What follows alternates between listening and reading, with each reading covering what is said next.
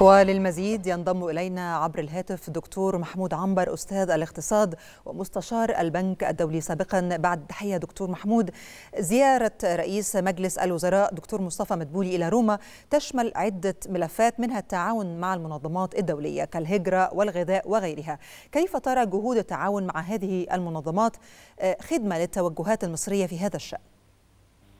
يعني يمكن زي ما حضرتك تفضلت في المقدمة العلاقات ما بين مصر وإيطاليا علاقات يعني قديمة قدم التاريخ يعني آه ولم ينعكس هذا فقط في يعني محاولة تطبيع العلاقات الثقافية إلا إنه هذه أو هذه العلاقات انعكست أيضا فيما يتعلق بالأرقام.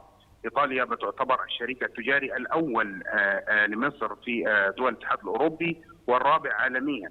أيضا حتى حجم التبادل التجاري اللي وصل في العام 2022 إلى ما يقرب من 7 مليار دولار بزيادة مقارنة بالعام السابق له 2021 بتصل إلى 14.1 من 10% ويمكن كمان هذا الحجم من التبادل التجاري بيقع جزء كبير منه في صالح الميزان التجاري المصري يعني في صالح الصادرات المصرية إلى إيطاليا اللي بترتفع وحققت ارتفاع يقترب من 18.5% في العام 2022 يمكن اختيار عنوان هذا الأمر أو هذا المنتدى اللي بيتحدث عن فكرة الهجرة غير الشرعية. الدولة المصرية يمكن حتى على المستوى الإقليمي على مستوى قارتنا الإفريقية يعني بتقدم تجارب ودروس مستفادة في هذا الإطار.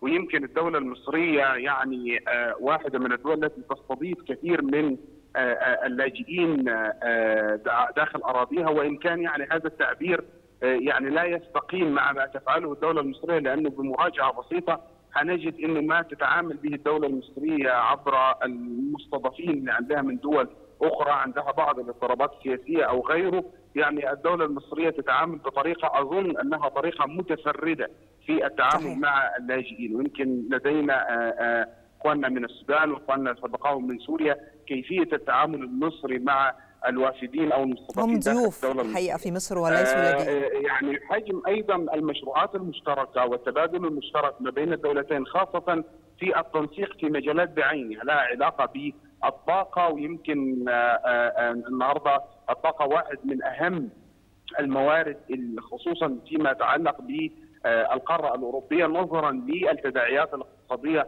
اللي بتفرضها الأزمة الروسية الأوكرانية واستخدام سلاح الطاقة كواحد من العقوبات الاقتصادية المتبادله ما بين الطرفين. وبالتالي ده بيطرح أهمية كبيرة جدا لمورد الطاقة اللي بتحاول الدولة المصرية التنسيق في إطاره في هذا الإطار مع مع دولة إيطاليا، أيضا فيما يتعلق بالمنتجات الزراعية والغذائية، ويمكن حضراتكم في الخبر السابق لهذا الأمر كنت بتتناولوا هذه القضية اللي بتدور في مجملها أن السلع الزراعية وتحديدا السلع الغذائية منها خاصة بعد تداعيات جائحة الكوفيد 19 وما بعد الأزمة الروسية الأوكرانية بدأت السلع الزراعية تصنف ليس باعتبارها سلعا استراتيجية وفقط ولكنها سلع لها علاقة باعتبارات الأمن القومي صحيح. نظرا للتداعيات وتعطل وخلل سلاسل الإمداد للعالم بأسره. دكتور محمود كما ذكرت التعاون المصري الإيطالي شهد زخما كبيرا تحت قيادة الرئيس عبد الفتاح السيسي، لكن كيف تقيم هذا التعاون وكيفية توطيد تلك الأطر للتعاون المشترك؟ يعني يمكن لو نظرنا إلى اللغة الوحيدة التي تعبر عن حجم هذا التطور وهي لغة الأرقام.